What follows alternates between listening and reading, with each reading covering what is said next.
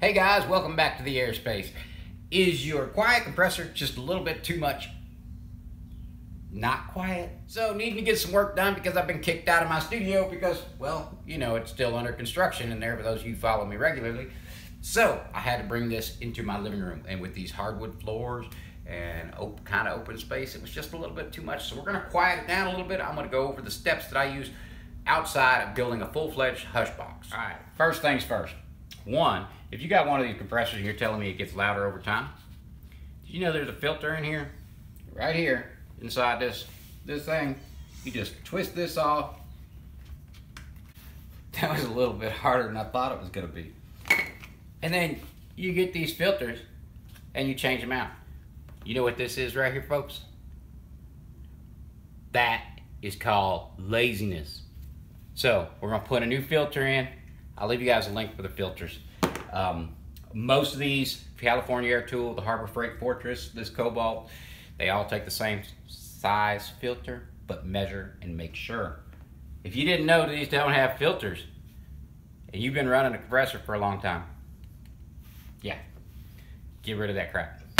Secondly, maybe or maybe not, your compressor had one of these hoses. Most likely it did. There's a hole. This hose should go in here.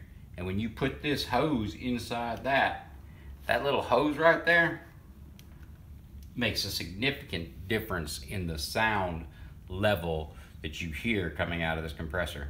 Even better bonus points if you can get a hose and then attach it to a pipe and run it outside, you won't hardly hear any noise coming from the air going into the compressor. So after changing my filter, putting the hose on, this is going to be my baseline. So we're at like 65 decibels, roughly 66 decibels, maybe 67. Next, listen to see and touch things and see if you're getting any rattles and stuff. In this particular case, my heat shield was vibrating against the top, so I took it off. Now, the my compressor's been running, I can still put my hand on top of it, but if you're getting a heavy duty cycle, that can get hot. If you burn yourself, it is not my fault. This gets hot. Don't put your hand on it. Well, I'm putting my hand on it, but I already knew it wasn't hot enough. But if you ran it for a long time, it's gonna get you a nasty burn. This plastic cover right here, don't need that. All right, right now, the biggest source of my noise is vibration. My floors in here are wood. It's sitting directly on the wood floor. And my house was built to, you know, fairly modern house, regular code. So when this is sitting on here, it creates a little bit of vibration. For that, to fix that, you're gonna need mats. You're also gonna need decoupling. So for decoupling, I've got some old floor mats, and I'm just gonna cut me a couple little pads. I don't want to lay the entire floor mat down on the floor. And I'm gonna take these pads right here, place them down on the floor. Then I got this pretty heavy, maybe 40 pound box of vinyl tiles, and I'm gonna place that right on top of it. Sand is an excellent source of mass. It also, the way, because the way sand works, it will also kind of like fold on itself. It absorbs them vibrations really, really well. So if you have access to some play sand, want to build a little box and fill it with some play sand and use that for your mass and your decoupling, great. If you got some ankle weights laying around, and set the ankle weights down instead of rubber pads, it will help you tremendously. Had another gym mat, just laid it on top of there. And put my compressor on top of that. So that's already a three decibel improvement. Even more so, what's hard to understand is how much the getting rid of the vibrations make a difference in the room. And so it's not transmitting sound across the floor into the other rooms of the house as much also guys i want to apologize for my mess. I have mess everywhere. We are not only remodeling the studio i'm still working on the kitchen and the living room. Is also getting remodeled. We're putting all new floors in we got drywall going on we got everything going on everywhere and all my stuff's moved in boxes now, the other thing is there's a pressure switch in here. And in this case, I'm going to turn my pressure down so that I don't need 150 PSI, which is what this thing pumps up to normally.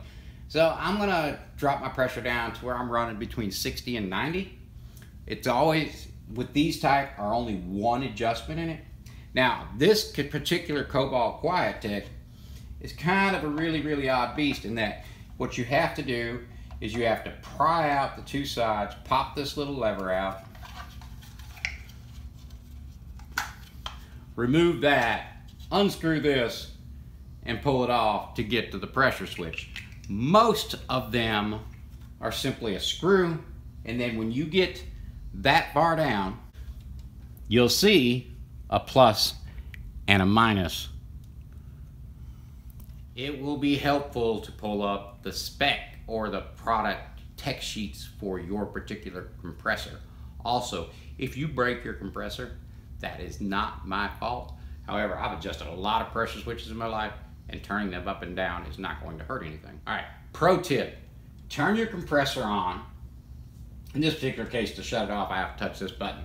Turn your compressor on, let it pump up to the max pressure you want, and then turn it off.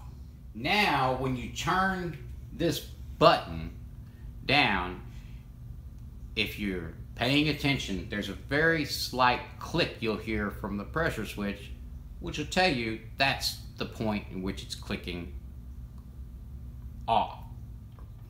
Put your stuff back together. So how did I adjust the max pressure down? Well, as the compressor gets closer and closer to its maximum pressure, it's going to work harder and harder. It tends to make the most noise and create the most vibrations as it's getting really, really close to the shut off. I'm sure many of you have witnessed this. And the lower that you can set the pressure and still work for your needs, the less vibration and the less noise you're gonna create. All right, so now, short of building a hush box, we just want to uh, get something, some soft, so we don't have hard reflections around it. You want something soft around it, you can use a blanket, you can use a pillow, whatever, to kind of stop echoes from bouncing off the wall behind you. I've got my dog's bed. As you can see, this one looks really sad about it. This one claimed it back immediately. And let's be real about it. That's just where they lounge around when they don't want to be on the couch, the love seat, or my bed. As a side note, memory foam is excellent at absorbing vibrations. It would do even better than these little uh, mat pads that I have here. So memory foam really works well at absorbing. How much difference does it make? Uh, let's we can test with the decibel reading, but that doesn't always tell the full truth. But let's see what we got for decibels now. Or maybe I turn it that way. You guys can read it a little bit better. As you can see, as I talk, the decibel reading go higher because my voice is louder than. That is what 10, 11, 12 decibels difference that is tremendous. So it is now at a level in which I can run this in here, even if my wife is sleeping, and I could be able to continue to work in my kitchen or dining room area, whatever you want to call it, and let her sleep. So I am going to make a video about building a hush box in the future because I'm probably going to do some type of hush box um, for my compressor when I move into my small area in the studio there.